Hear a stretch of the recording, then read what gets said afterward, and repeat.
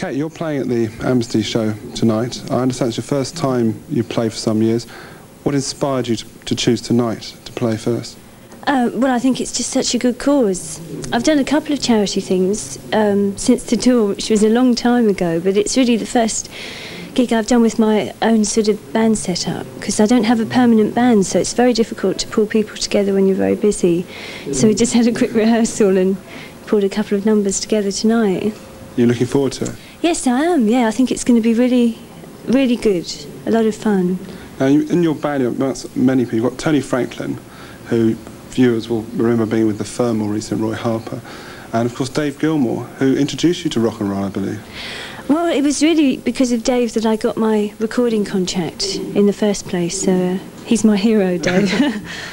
It must be great to work together after knowing each other. yeah, yeah, it's lovely. We've uh, he did some stuff on an album for me a few years ago, but um, that was singing because I think he's got a beautiful voice as well as being such a good guitarist.